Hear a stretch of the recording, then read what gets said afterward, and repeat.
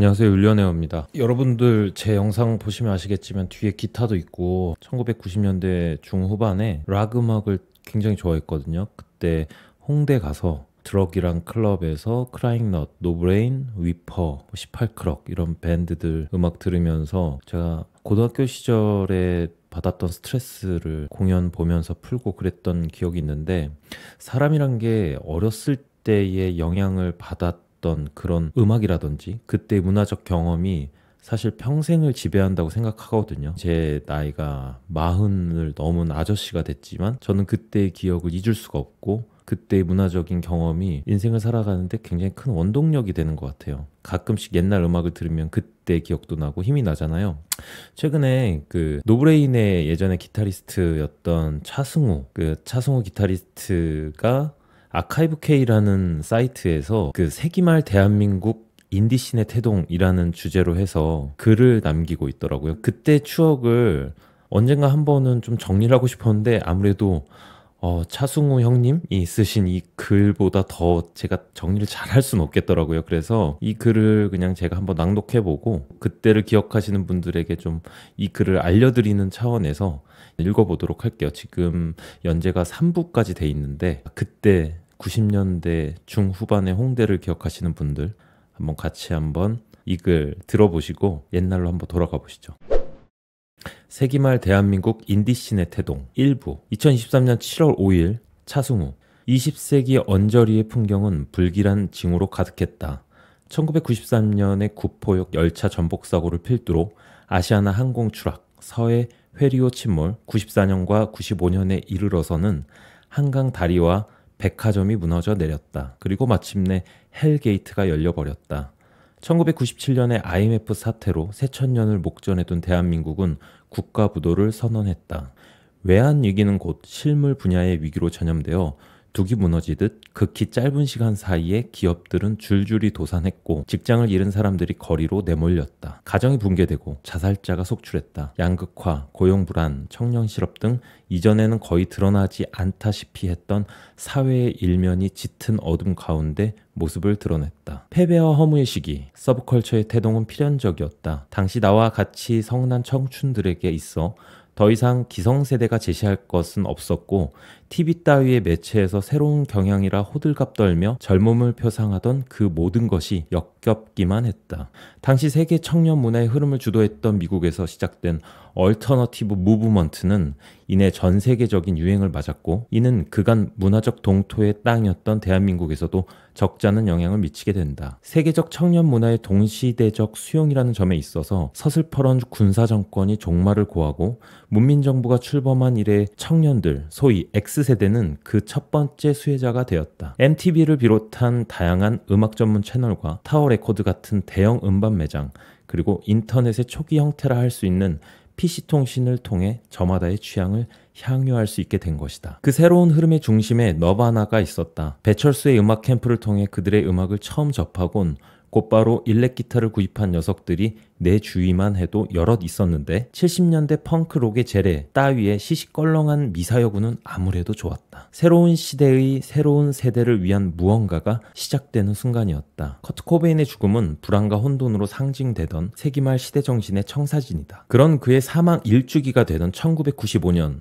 홍대 모처의 작은 클럽에서 추모 공연을 연단다. 원래 레게바로 문을 연 그곳은 그날의 추모 공연을 기점으로 정기적으로 공연이 열렸고 그 소문을 들은 아마추어 밴드 크라잉넛이나 옐로우 키친 같은 밴드가 합류하게 되면서 명실상부 라이브 클럽의 모습을 갖추게 된다. PC통신이나 핫뮤직 따위의 음악 잡지 혹은 입소문을 통해 어떤 불온한 움직임을 감지한 아이들이 홍대 주변에 모여들기 시작했다. 각기 배경은 다르되 같은 정서적 온도를 공유하는 10대 후반에서 20대 초반의 아이들에게 상수동 86-35 지하는 일종의 해방구로 여겨지기 시작했다. 자, 2부입니다. 2023년 8월 2일 차성우 님이 쓰신 글입니다. 90년대 중반까지만 해도 홍대 일대는 비교적 조용한 지역이었다. 일반적인 대학가 상권의 그것과는 구별되는 무언가는 있었다 할까?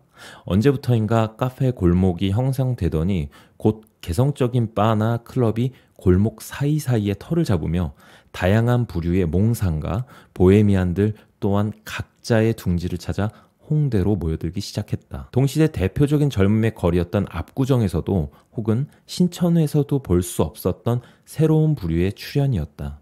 부류라 표현했지만 그것은 범홍대라는 서식지 아래에서 여러 갈래의 양상으로 구분되었다. 테크노클럽, 발전소와 황금투구 또는 명월관의 raver들, Britpop이나 alternative music을 향유하던 스팽글과 클럽빵의 병약하고 예민한 청춘 군상들, 마스터플랜의 힙합 kid 등 홍대 앞은 여타 여러 subculture가 한데 섞인 용광로와도 같았다.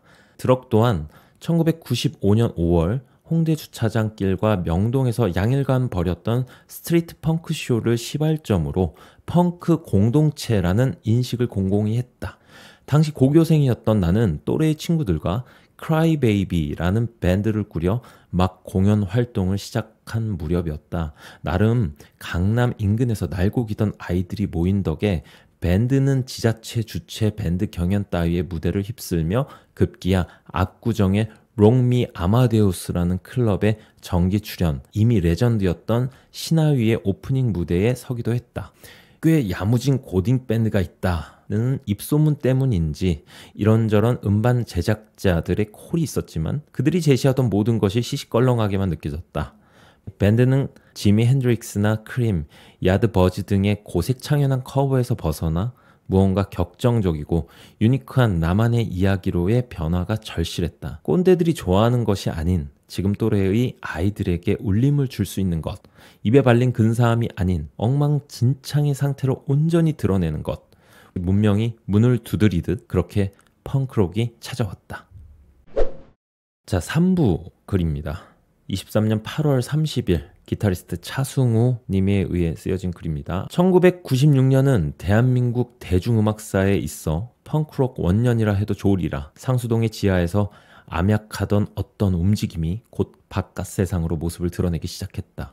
그런 의미에서 클럽 드럭이 제작한 compilation 앨범 아오네이션 1의 발매는 하나의 신호탄이었다. 타인의 자본에 의탁하지 않은 채 철저한 자급자족 가내 수공업 형태로 만들어진 제대로 mastering도 거치지 않은 물건이었지만 그러한 조악함이 되려 미학적으로 다가왔다. 당시 시점으로는 족보도 없던 크라잉넛과 옐로우 키친의 match-up은 실로 위대한 것이었다. 소위 엘리트 음악인들의 구태의연한 professionalism, 더 나아가 온갖 엄숙주의와 부조리에 조롱과 야유를 날리지만 왠지 모를 애수와 처연함이 공존한다.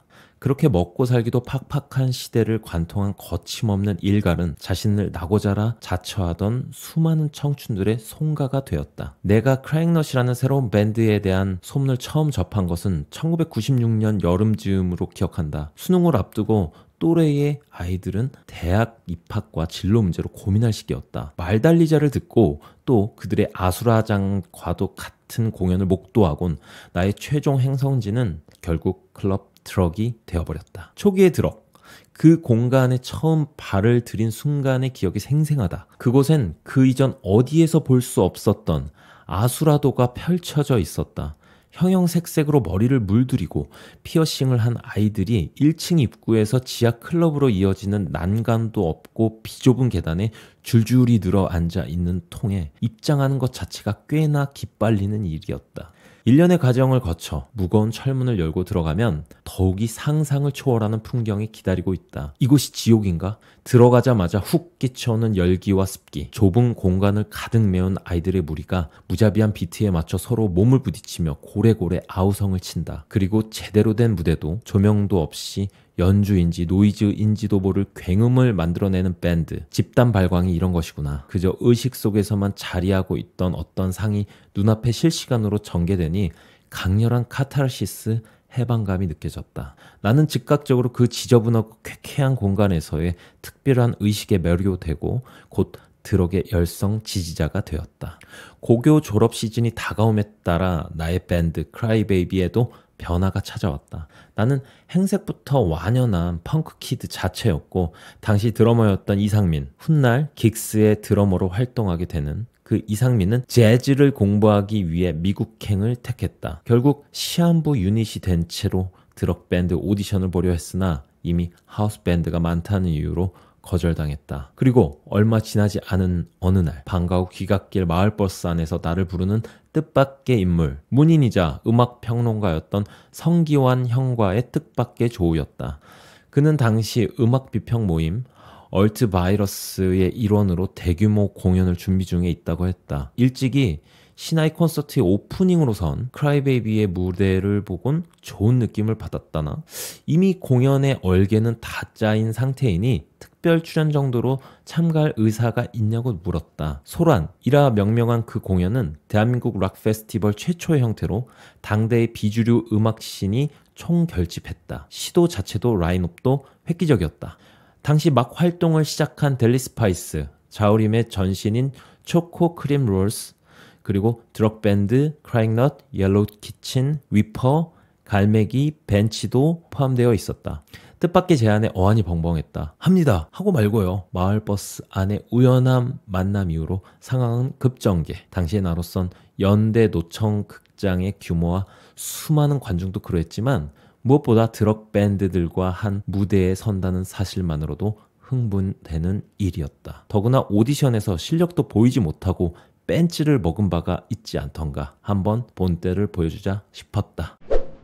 여기까지 혹시 공감되시는 분들 계실까요? 아, 차승우님 글도 엄청 잘 쓰시네요. 진짜 예전에 드럭에서 노브레인 공연 같은 거 봤을 때 사실 저는 노브레인에서 개인적으로 차승우 기타리스트가 제일 멋졌어요. 물론 중간에 이제 탈퇴하고 나름 본인의 음악을 추구해서 그 음악도 되게 좋게 많이 들었지만 어쨌든 그 당시에 노브레인이 보여줬던 그런 펑크록에 대한 열정은 크라잉넛하고 다소 결이 좀 다른 느낌이었죠. 그러니까 노브레인이 조금 더 센 느낌? 어, 저는 개인적으로 그걸 좀 더 좋아했던 것 같아요. 이게 지금 글이 계속 연재가 될 텐데 오늘은 1, 2, 3부를 제가 읽어서 영상으로 남겨놨는데 나중에 글이 좀 더 연재가 돼서 쌓이면 그때 또 모아서 영상으로 한번 남겨볼게요. 1990년대 중후반을 기억하십니까? 여러분, 펑크는 죽지 않았습니다. 오이, 오이, 오이. 옛날 생각 많이 나네요. 시간이 많이 흘렀습니다. 즐거운 음악 생활 하시고요. 음, 좋은 음악 많이 듣고 행복하시길 바랍니다. 다음에 또 연재된 거 모이면 그때 다시 영상 한번 남겨볼게요. 감사합니다.